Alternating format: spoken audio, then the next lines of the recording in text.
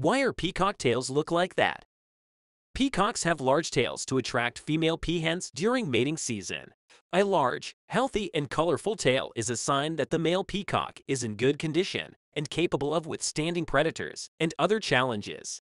Female peahens are attracted to these displays and choose to mate with the males with the biggest and most colorful tails.